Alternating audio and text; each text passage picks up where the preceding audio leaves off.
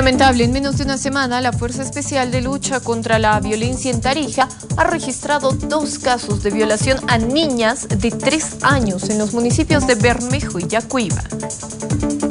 Una mujer en compañía de su hija de tres años de edad estuvo bebiendo junto a un individuo de aproximadamente de 20 años al interior de un local de expendio de bebidas alcohólicas en el municipio de Bermejo. La mujer al calor de las copas decidió ir al baño, momento que fue aprovechado por el sujeto para violar a la niña. La madre se percató del hecho debido a que su hija empezó a sangrar. En la actualidad la niña estaría siendo atendida en un hospital con diagnóstico reservado. Cabe recalcar que esta mujer solo conocía al sindicado por un alias. Se retira la madre y va a hacerle atender a, un centro médico. Y ahí es donde eh, el galeno se da cuenta oportunamente de que esto sería a través de la lesión hecha a través de un objeto o de, una cosa externa.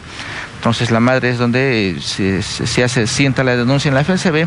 Sí, el hecho se habría suscitado en fecha 6 de, de 6 de noviembre. En Yacuiba, al igual que el primer caso que reportó la Fuerza Especial de Lucha contra la Violencia, la menor víctima de violación tiene tres años de edad. El hecho se habría originado en el domicilio de la niña. Esta vez los indicados serían del entorno familiar. Manifiesta cómo el, tío eh, procede a quitar la ropa, hacerle echar, hacerle ver eh, eh, videos pornográficos y bueno, pues las intenciones que a, a, las que han llegado y solamente prometiéndole que guarde silencio y bueno, pues que no comente con nadie.